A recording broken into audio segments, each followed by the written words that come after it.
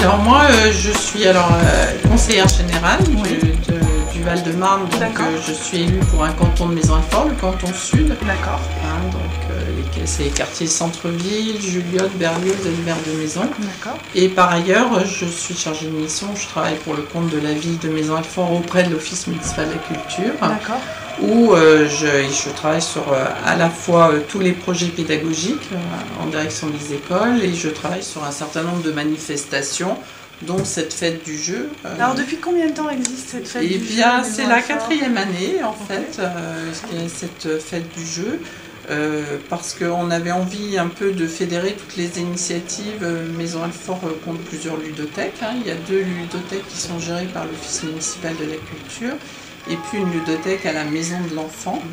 Euh, qui a la particularité euh, justement d'accueillir les enfants de moins de 5 ans, qui étaient, euh, enfin quand cette, la maison de l'enfant a ouvert, cette ludothèque était assez novatrice puisqu'il y avait peu de, sites qui étaient vraiment dédiés aux tout petits enfants.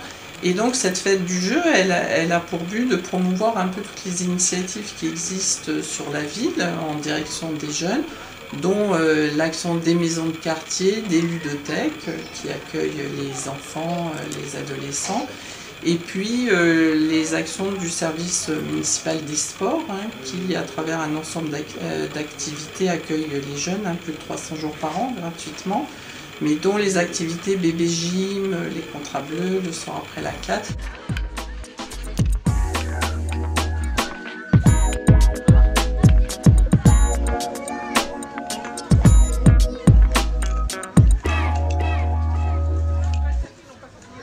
Alors, Nojunior.com est partenaire de l'Association française des ludothèques. Oui. On est nous aussi euh, très favorable et très militant en faveur du jeu et le plus longtemps possible. Mm.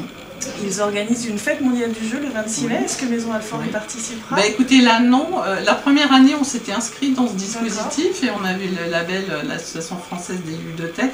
Là, on a un petit peu de mal. Bon, bah l'année prochaine peut-être. Bah écoutez, oui, hein, de toute façon, euh, il y aura une nouvelle édition. Et puis, bon, c'est vrai que le monde euh, qu'on a eu, malgré la- une météo incertaine, nous incite quand même à, à recommencer.